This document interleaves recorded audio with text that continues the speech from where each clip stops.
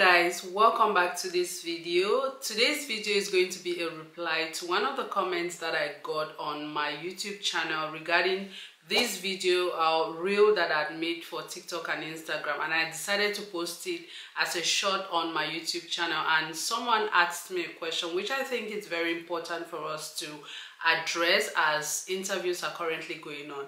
Welcome to my channel if you're joining me for the first time. My name is delphine konda and i do make educational content.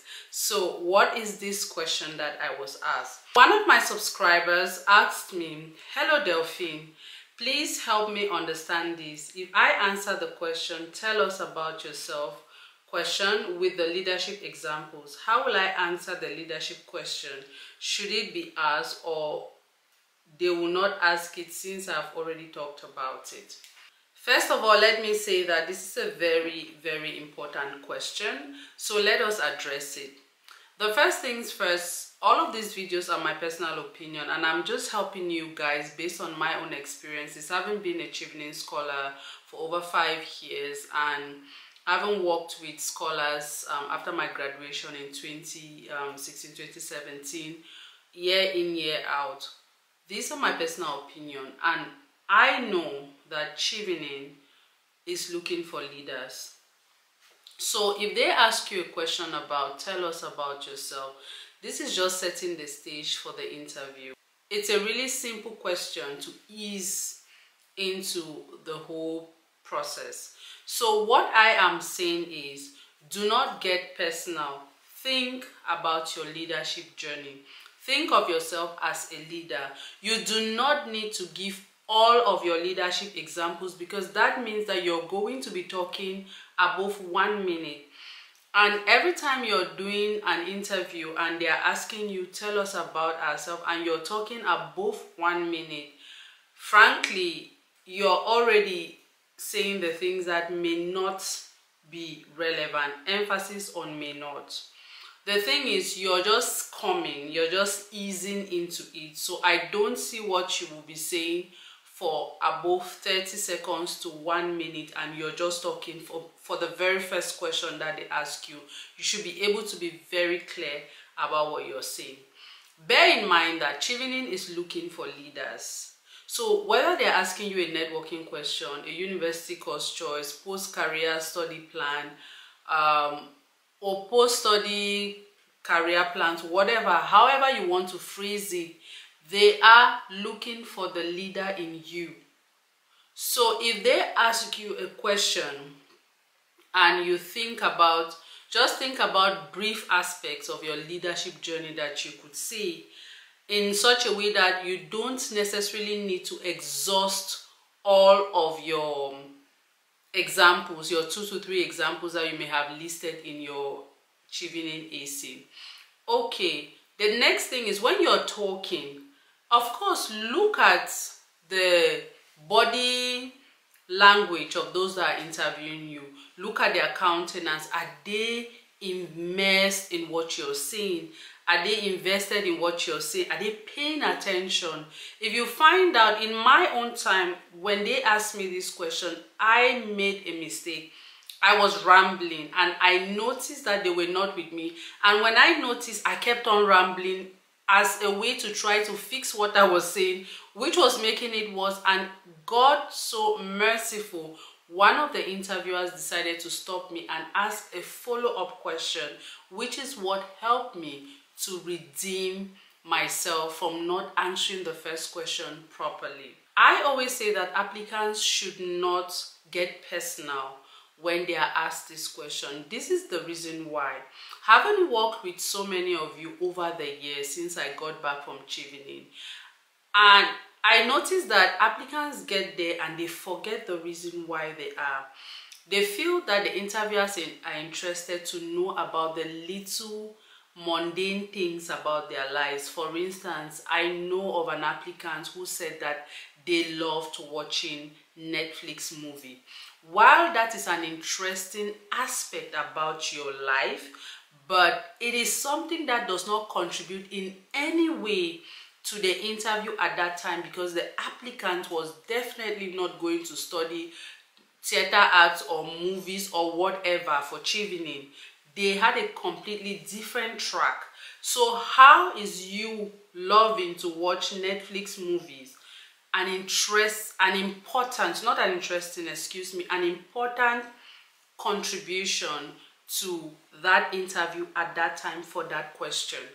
So those are things that you need to pay attention for attention to if for instance i go for the interview now and they ask me to tell them about myself i would say something like i would use a personal approach frankly which is contrary to what i'm telling you but i'm going to use it because i have mastered over the years working with you all i've mastered a way to navigate that question in a way that will use the personal to highlight my um, trajectory as a leader my abilities as a leader to impact not only myself but my community.